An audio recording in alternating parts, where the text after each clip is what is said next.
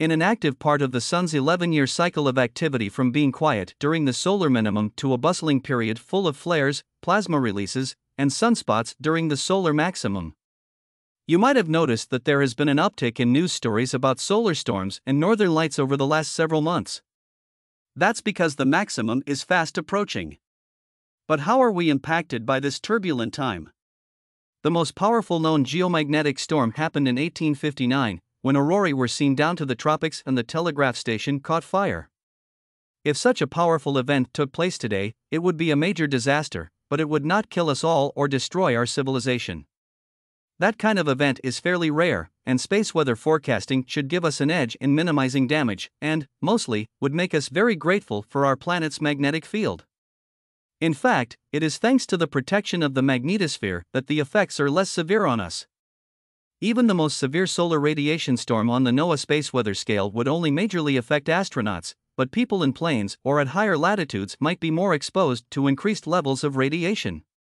Over a solar cycle, such an extreme solar storm might last about a day.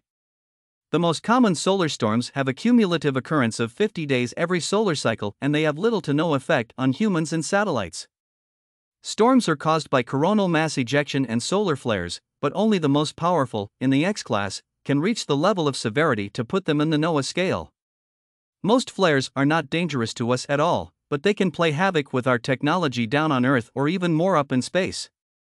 They can directly affect satellites, change the shape of the atmosphere, and play havoc with our communication. And you don't need the X class flares, the next class down in power, the M class, can be equally annoying.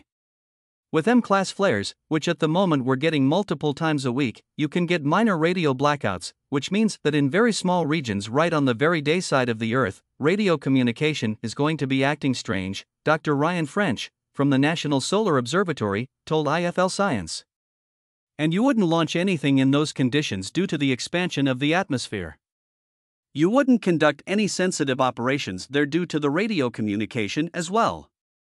So, the most common effect of a peak in solar activity, that might happen sooner than the official predictions expect, is a minor inconvenience due to satellites' inability to communicate, rather than Armageddon. And the best effect is more auroral activity. Feels like this is mostly a win in terms of celestial dangers.